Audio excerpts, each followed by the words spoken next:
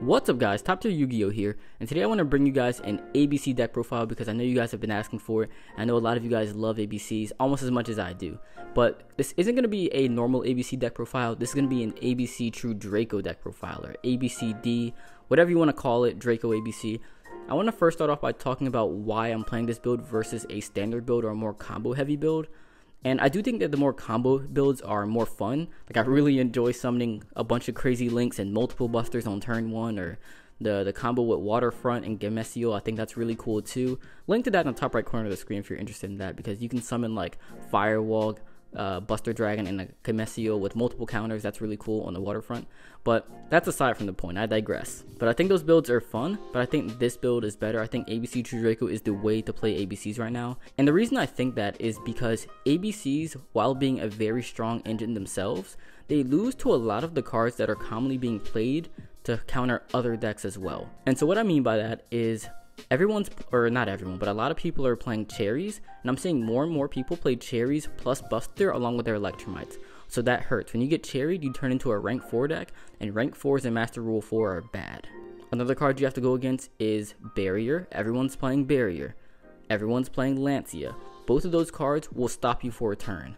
And that's a lot of skip your turns and you don't want to be going against skip your turns. Next, they do not have very many strong matchups by themselves, and so if you look at the Pendulum matchup, it's not too bad, but what happens is when you tag out your Buster, what they'll do is they'll make Starving Venom to copy your Buster, and then they'll use Buster's effect to banish one of your pieces, which can disrupt your engine and make it really hard for you to play following up. And then knowing they can summon multiple Venoms, they can actually pretty much summon multiple Busters against you that pierce. That's actually ridiculous, right? And so it's really hard to play against that matchup. Plus, they have a lot of cards that make it hard to play through their defense. Like it's hard to play through Vortex Naruto or Vortex Tornado Dragon or something. So that matchup can be difficult. Then if you look at Invoked, Invoked is actually almost unwinnable because they can just banish your pieces from the graveyard to summon Mechaba. Trickstars can be hard sometimes because if they can banish a piece that you need, then it can be hard to play through that at times. Draco is a hard matchup because they can summon Amano Iwato, which cuts off your Buster Dragon, and then they can just like pick your field apart. And then when they summon Master Peace, it can be really difficult to answer that without having to like Buster, banish diagram, and then attack over it. But that means that you're not using your Buster on the Master Peace, and it just leaves you open for Master Peace to pop Buster. And so you have to like play through their trap defense, their Master Peace defense, and then banish the diagram and then attack over it. And that's just like a lot of work that a lot of things have to go right for. And it's hard to really rely on that in that matchup. And so I don't think that these are all like terrible matchups, but they're definitely not good. And so it's like you're losing to all the other cards in the format. You don't have any really good matchups. And so how are you going to win? See, I felt that I really needed something else that wasn't just like summoning Buster because summoning Buster just wasn't enough. But I felt that the True Draco engine, while also synergizing with the ABC engine, is a card that was so strong that Master Peace could carry me through those matchups. So like when you get barriered, Master Peace can can carry you for a turn or two, or when you get Lancea'd, or like any of those cards, I felt that Master Peace was just a really really powerful card to include. And again, it's just an extender as well, so it has a lot of synergy, and it's a really strong card on its own, which again really helps a lot when you're being stopped by all those other things. So I don't want to spend too long talking about how awesome this is. I want you guys to figure that out for yourselves, but uh, to start off with the deck profile, we'll start with the ABC engine. We have two A's, two B's, and two C's. Next, we have three hangars, three terraformings, and one set rotation. Another advantage of this deck is that you are allowed to play set rotation, and the only other way to play it before was if you're playing Ravine, which, spoiler alert, we're also playing, but the problem with playing a lot of Ravines is that if you just get destroyed by any hand trap. Whereas, like, I'd much rather get a Diagram Ghost Ogre than a Ravine Ghost Ogre. And so that's it for the ABC engine. For the True Draco engine, we have three diagrams. And diagram is really good because it's also an extender in a lot of ways because you can destroy your ABC pieces to get them in the graveyard, which is the point of like every other option of extender. Like all extenders do for ABCs is get them on the field or graveyard so that you can summon Buster Dragon. And diagram does the exact same thing while searching you more powerful cards. Like you can search cards like like I mean all the True spells and traps are good, but also Master Peace. So diagram's actually insane in that way. Then we have one heritage one return, and one apocalypse. These on their own can be sort of like bricks, which is why I don't want to play multiple copies of any of them. But them in conjunction with a diagram, like any of them is Master Peace. So like if you have heritage diagram, you just search Master Peace and then you have heritage Master Peace, and that's like the juice. Or if you have a trap in Master Peace, then that also works. Or even if you have like it like it just doesn't matter. Like any combination of diagram with any of these spell or traps or Master Peace equals Master Peace on board, which is ridiculously strong, of course. But it also means enabling your ABC combos if you have that as well. And then finally, the two aforementioned Master Peaces. I was actually playing three for a while, but the only reason I cut it down was that it doesn't really fit the definition of what a three of should be. It's not really good in multiples. It's not good in simplified game states. It's not good in a few other scenarios, but it's so powerful you do want to play at least two. So now let's move on to the rest of the extenders. And so I already explained that diagram is an extender, and that's actually really good because you have terraforming and set rotation to search that as well. But as for like the the strictly extender cards, you have three gold gadgets and three silver gadgets. I like both of these as your extenders because they don't require any engine requirements. So it's not like Brilliant Fusion or Symphonic Warriors where you have to play like a brick card because your your True Draco cards can already be brick sometimes. So I didn't feel comfortable playing any more like other like strictly bricks. And so that's why I like the gadgets a lot, but also they're really strong in a simplified game state to where in some cases you can just like set them and pass and your opponent can't kill you unless they make like a big play. And then you just stop their big play and you you live. So another really cool thing is that they synergize really well with Diagram. So Diagram can destroy them in hand to get their graveyard effects. And so if you have Diagram and a True Draco card, you can use Diagram to destroy the gadget in your hand, search a True Draco card, the gadget will trigger special summoning another gadget, and then now you have Tribute Fodder, like something to tribute with, and Master Peace. And so that's just a little combo that gets you exactly where you need to go. It also helps you do rank 4s without normal summoning, which can get you to your other parts of your engine once we get to the extra deck, but that's also really good. Same thing with links and synchros. It, it just helps you make more plays without normal summoning when you combine with diagram. But if you do have to normal summon, it's also a good normal summon, and so I, I do really like the gadgets a lot.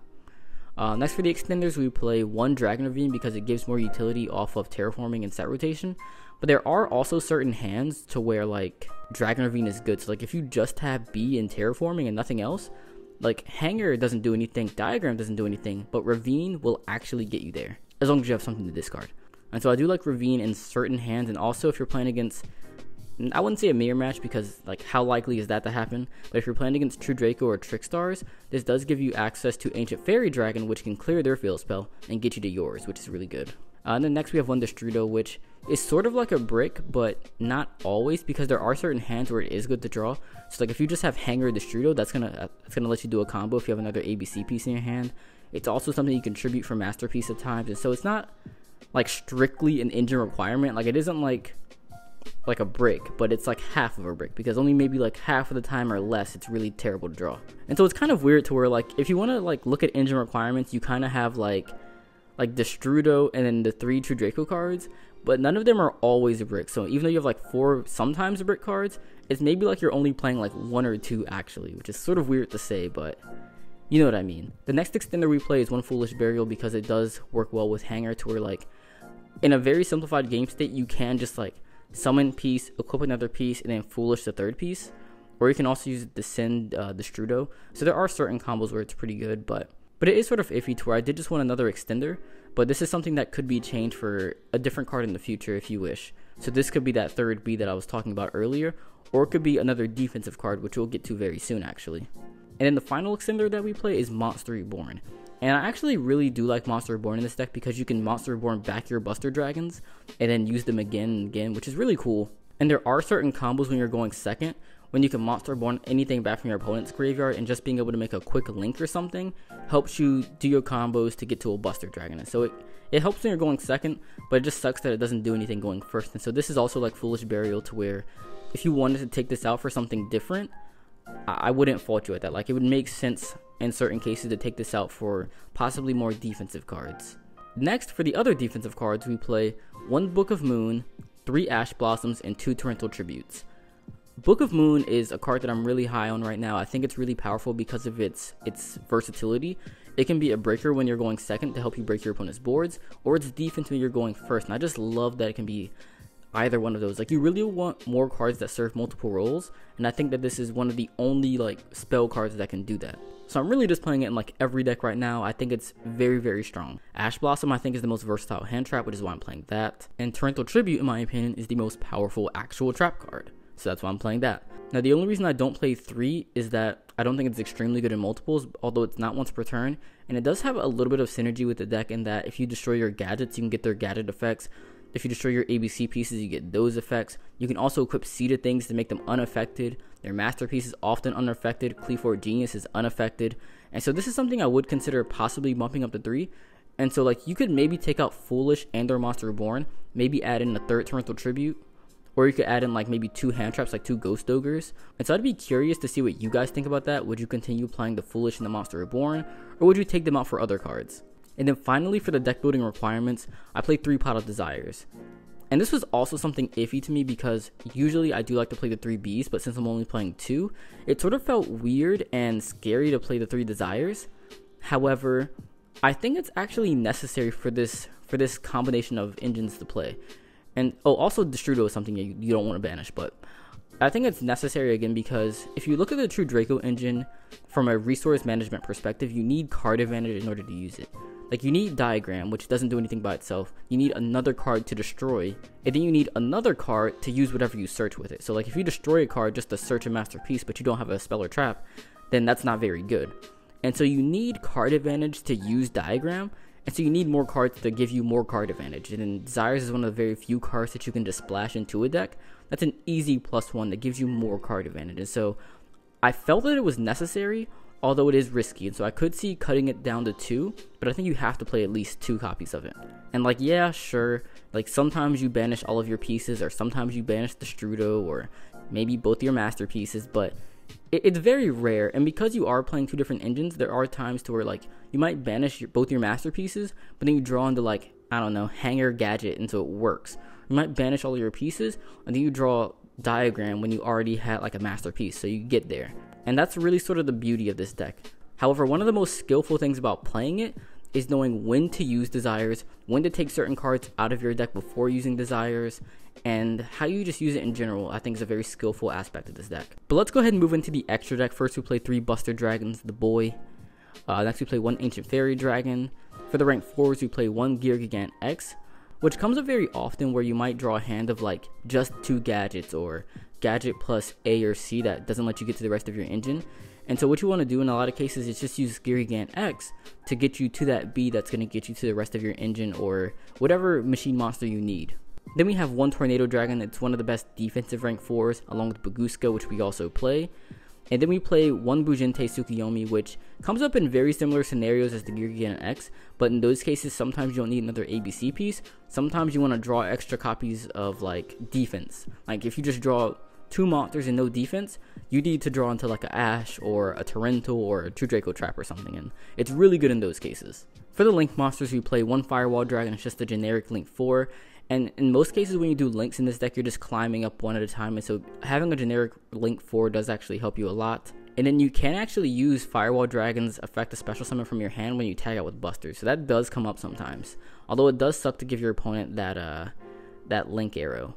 Next you play one Borreload Dragon and one Scoldy. These are both what you go into most of the times after you tag out, and they really just seal your games. And so it's like you tag out, and if your opponent has a monster, you go Borreload, and you just like take their monster, summon a bunch of Buster Dragons, and kill them. But if your opponent doesn't have a bunch of monsters or something, or say you can't kill your opponent, then Scoldy's really good for drawing you into more copies of your defense cards, like drawing into your Master Peaces and your diagrams and stuff. It's really, really good because again, you need card advantage for that True Draco engine to work. This helps you get to that. Next, we have one Decode Talker. It's just a generic Link 3 for helping you Link climb. For the Link 2s, we play one Qliphort Genius and one Underclock Taker. Both of these are actually really, really good. And so Qliphort Genius is unaffected by spells and traps, so that's actually ridiculous, and other Link monsters too. And then you can also negate cards on your opponent's side of the field, which helps you break your opponent's boards if they don't stop this. And then if you summon this and then tag out, you can search a machine level 5 or higher from your deck, which we don't play in the main deck, but we do play one on the side deck, and that's actually a really cool interaction.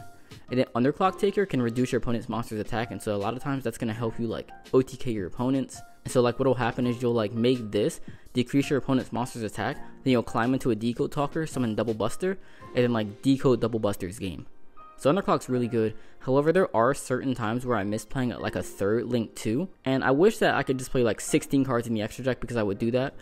But you, you can't. So I think one of the things if I were to take something out for another link 2, like maybe Proxy Dragon, I would possibly take out either Gigant or Tsukuyomi because they sort of serve the same role. Possibly Firewall because that doesn't come up as often in this deck. Or maybe or maybe Skull Deep because the good effect does require four different monsters with different names, and we only play like five different names of monster in our deck, so sometimes this can be hard to make too. Sometimes you will need like another link too, but not always. But that's just something to think about.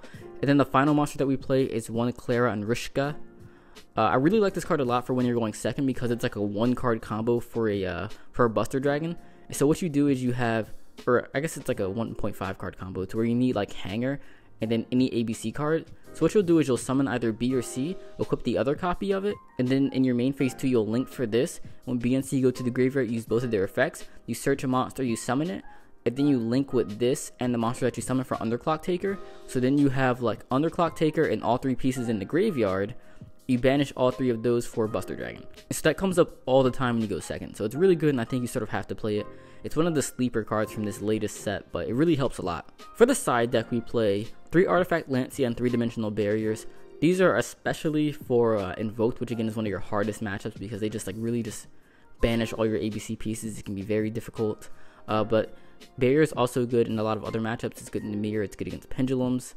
Evenly matches for True Draco, which again would normally be a hard matchup, but the True Draco engine actually helps that a lot because you can get rid of some of their floodgates that would be hurting you, some of their strikes, their again their floodgates, their their other cards that would hurt you, you can get rid of. But evenly match helps get rid of all of them at the same time. So it's a little bit more efficient in that regard, but uh, it, it does help. Next, we play three Eco Mystical Spirit of the Forest. And this card is, is uh, pretty crazy actually, but it's a hand trap that you use against the Pendulum FTK.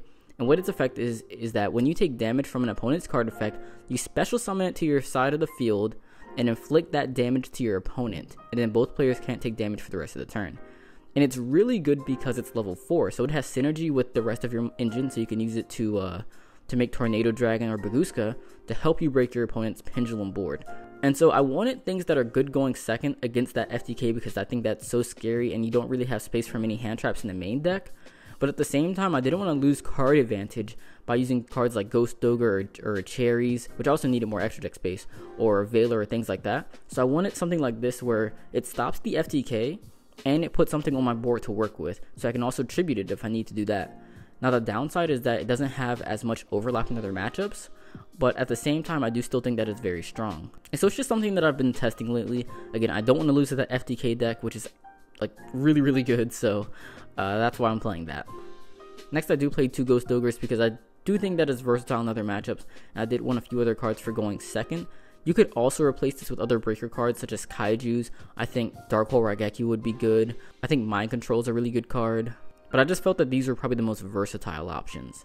And finally, I play one Jizukiru, the Star Destroying Kaiju, because it's again a good card going second just in general, but also it's a machine monster that's level 5 or higher. And so you can actually search this with Qliphort Genius. And so if you do go second and you would cite this in every time you go second, whenever you can uh, tag out when you have Qliphort Genius, you just search this. So if your opponent does ever break their board, which they probably shouldn't be doing anyways, uh, you just use this to clear the board again and then continue to play.